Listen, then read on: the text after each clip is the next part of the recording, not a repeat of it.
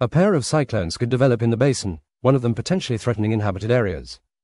To ensure you don't miss important updates, like, subscribe, and turn on notifications. A potentially significant weather situation is developing in the Indian Ocean, demanding careful attention from residents of Mauritius, Reunion, Madagascar, and Mozambique. Southwest of Diego Garcia, a suspect area is taking shape and moving westward.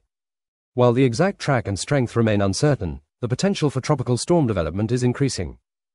The developing timeline indicates a low 10 to 30% chance of tropical storm formation on Thursday, the 6th of March. This probability increases to a moderate 30 to 60% chance on Friday, the 7th of March, and escalates to a high 60 to 90% risk from Saturday, the 8th of March, with potential development over northeastern Madagascar and the northern Mozambique Channel.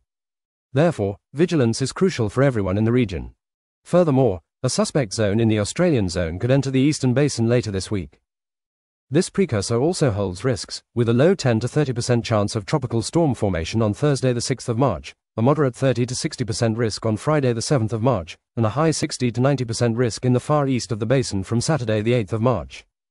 It is crucial to emphasize that, even with the rising probabilities, the exact track and intensity of any developing systems are still unknown. This is a dynamic situation, and careful monitoring is absolutely necessary. I will continue to provide updates as more information becomes available.